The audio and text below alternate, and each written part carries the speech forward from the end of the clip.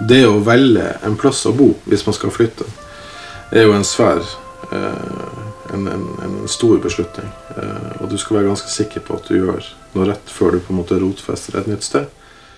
Da vi kom eh, egentlig akkurat over kommunegrensa inn i Øyebyggsveien, så, så sier jo Elisabeth at her skal vi bo. Og det var liksom ikke noe å diskutere. Ikke fordi at jeg var uenig med henne, men vi var enige begge to at det her var veldig, det vakreste området vi hadde sett. Um, det dalføret her har uh, nesten noe magisk over seg.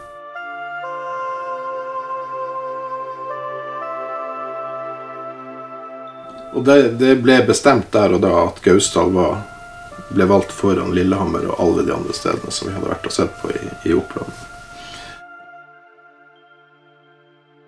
Det er et uh, område som er rik på naturopplevelser.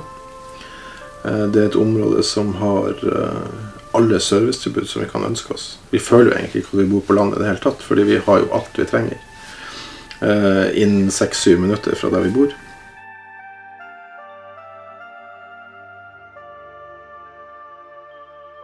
Jeg er fra Oslo, og samboeren min er fra Trondheim. Vi eh, bosatte oss her i Gausdalen for eh, litt over 11 år siden. Det her er en veldig fin plass å vokse opp. Og eh, her trives vi godt, alle tre. Så her blir vi nok boende. Det er veldig mange gode fritidstilbud for barn og ungdom i Gausdal. Eh, sønnen vår er en eh, aktiv pjokk, og han er med på turn, og han spiller trommer, eh, og han hopper på ski, og han spiller fotball.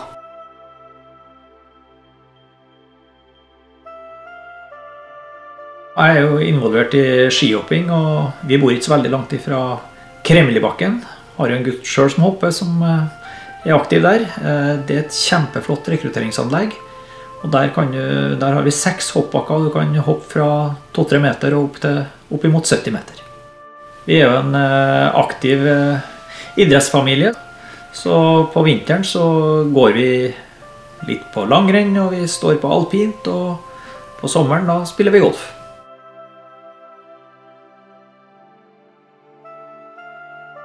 Når vi bestemte oss for å flytte fra Oslo oppover hit, så syntes vi det var greit å bo i nærheten av en by. Derfor ligger Gausdal veldig fint det i forhold til at det ligger så nærme Lillehammer. Som vi jobber begge to på Lillehammer, så er det veldig kjekt med en ny vei. Ble veldig fin og går kjapt å kjøre. Det positive er at vi bor så nærme barnehagen, 600-700 meter. Det er òg nybygd barneskole som ligger i underkant en kilometer herifra, med ny gangvei hele veien. Eh, det er veldig god luftkvalitet oppi her. Kjempemessig den oppi her i forhold til Oslo. Eh, samt at det er veldig roligere. Det er ikke så høyt tempo som, som det er i Oslo. Vi lever litt roligere. Kanskje mest av alt så er det sånn at vi har på de fem årene vi har bodd her, aldri følt oss som innflyttere. Eh, vi har blitt tatt kjempegodt imot. Eh, fått masse venner. Eh, ungene stortrives. Ja, vi har liksom et komplett liv i Gausdal.